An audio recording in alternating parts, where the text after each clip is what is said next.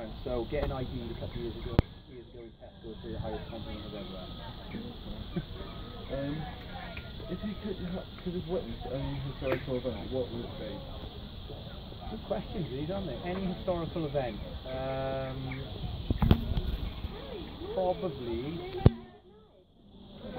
I'll, come, I'll start at the end. That's a brilliant question. Bill Griffin King, what word or phrase Two do days you now, no one comes do you say often? Probably um too much. Uh, Probably um and ah too much. So yeah, probably um. Okay, um, who is the person you most envy, cricket or not? I can't suck on the. I envied a few of those Derbyshire players today on the balcony on the uh, and we were fielding. Um, who's the person I most envy? Probably Johnny Barefoot. I think he used to cricket thing and might have flopped his black on that. But yeah, probably him. Uh, last question, what is your perfect pizza? Oh, I am uh, Hawaiian. Hawaiian. So uh, ham and pineapple. And like the historical event I would like to witness. Is a brilliant question. Yeah, I'm going to say maybe. Um,